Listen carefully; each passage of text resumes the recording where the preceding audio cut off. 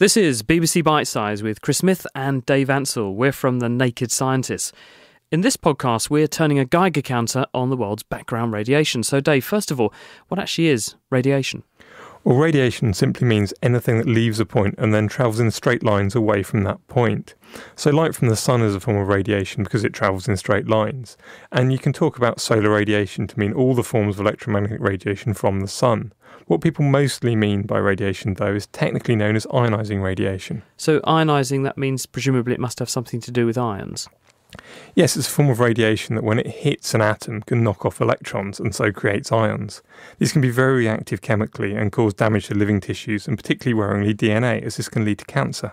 So, where does this ionizing radiation come from?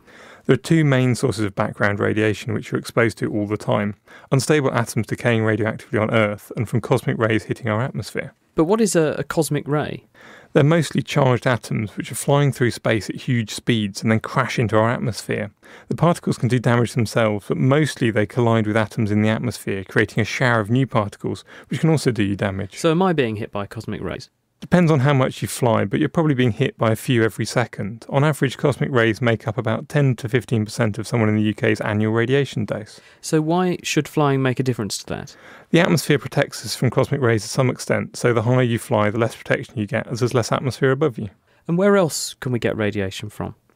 One of the biggest sources of radiation is a radioactive gas called radon, which is produced when radioactive elements in rocks such as granite break down. On average, over the country, it makes up about 10 to 15% of your radiation dose. But of course, it's very dependent on what kind of rocks you live above. And about 15% of your exposure can come from radioactive elements in rocks and buildings, another 10 to 15% from radioactive elements in food. So, food is radioactive? Only very slightly. Naturally, there are radioactive elements in the soil and the atmosphere, so plants will pick them up as they grow, and of course, animals eat plants, so meat can also be radioactive. What about man made radiation, though?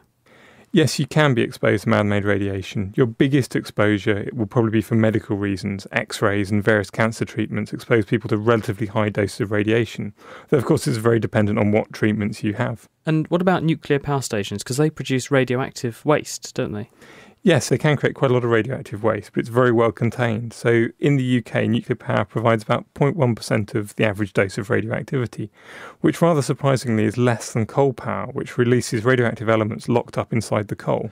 And what about testing nuclear bombs? Because people used to do that a lot. Yes, a nuclear bomb will release an awful lot of radioactivity. So even though they mostly took place in the Pacific, the remnants of old nuclear bomb tests also contribute, but only about 0.2% of your annual dose. This is falling because there are far fewer nuclear bomb tests today than in the 1950s and 60s. Work and other sources of radioactivity produce about another 0.3% of your average dose. So non medical radiation produced by humans is only about 0.6 of your average exposure. We're exposed to radiation all the time, but unless something goes wrong, most of it is natural.